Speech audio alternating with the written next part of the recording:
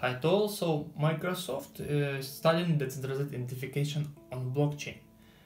And since you can create a user ID on the decentralized platform and uh, permanently save its history in, on blockchain.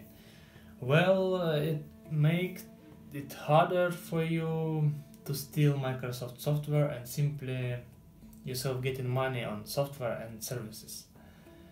Three test networks uh, are considered a test platform for integration. It's Bitcoin, Litecoin, and Ethereum. Uh, that is trends, this is extra plus in favor of cryptocurrencies and platforms. When such giants show interest in technology, it raises its capitalization and, and, uh, and the value of coins.